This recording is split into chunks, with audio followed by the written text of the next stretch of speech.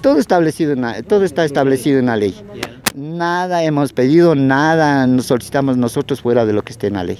Todo existe en la ley, nosotros hemos tenido el problema, el problema que se ha suscitado es en la parte económica, porque nosotros tenemos un incremento de 30 dólares a partir de 2015, donde la mayoría de instituciones ya han cobrado ese, pero aquí lamentablemente ese ha sido el obstáculo mayor para no poder llegar a culminar con, el contrato colectivo.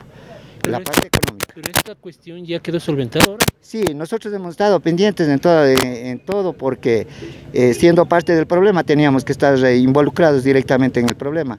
Entonces hemos buscado mecanismos, soluciones en donde prácticamente se ha encontrado una de ellas eh, con la ayuda misma, iniciativa propia del señor financiero en el que teníamos que buscar gasto corriente permanente.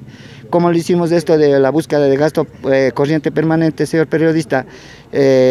fue iniciativa del señor financiero, pienso yo y creo yo, sí, así lo considero, con el objeto de ayudarnos de eh, el incremento el incremento de catastros. Eso se ha subido un porcentaje de centavos, donde ha llegado, se ha llegado a recaudar más o menos unos 200 mil dólares, parece. Entonces eso está tomado cuenta como gasto corriente, donde la ley sí dice que gasto corriente permanente es para incrementos de salarios. En ese aspecto se ha solucionado y el tema de dinero para el pago a los trabajadores.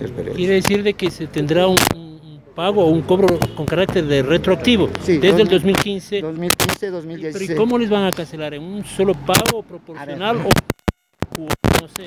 Sí, eh, hemos llegado, pienso yo que hemos llegado a conversar con el señor alcalde y hemos encontrado una, lo que buscábamos de ser periodista, una solución ¿no? al conflicto y también no podíamos presionar porque sabemos que no hay dinero. Nosotros hemos estado involucrados buscando recién la...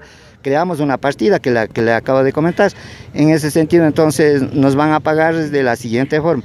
A partir del mes de enero, se compromete el señor alcalde a pagarnos los 30 dólares. Y en el mes de marzo, el retroactivo de 2015 y 2016.